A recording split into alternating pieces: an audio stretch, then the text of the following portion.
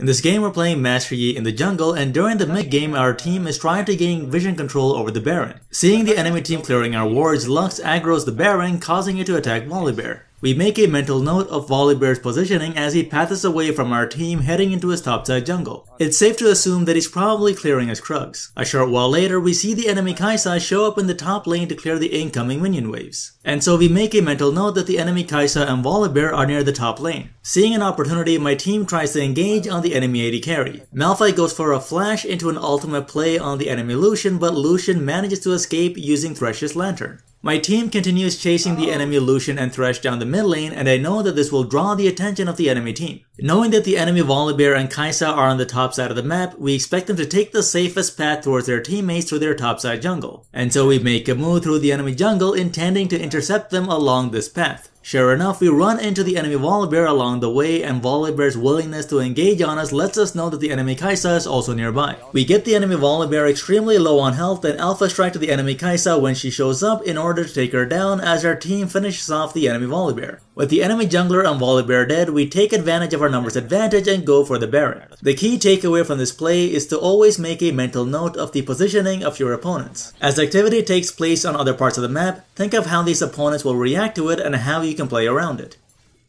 If you love these videos and want to see more, do hit the subscribe button and use the bell icon to be notified on when the next video comes out. If you want to improve your in-game decision making, take a look through the playlist on the left, and if you want to learn some league strategies, take a look through the playlist on the right. You can also follow on Twitter, and if you want to support this channel directly, do click on the Patreon link to support this channel.